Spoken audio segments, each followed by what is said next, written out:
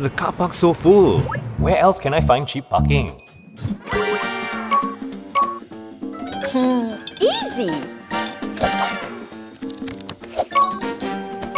Aha! There's parking at Ion Orchard.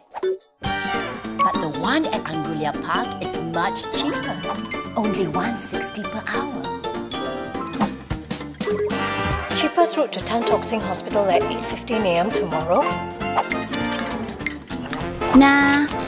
Ayo, too expensive. Ooh, got it.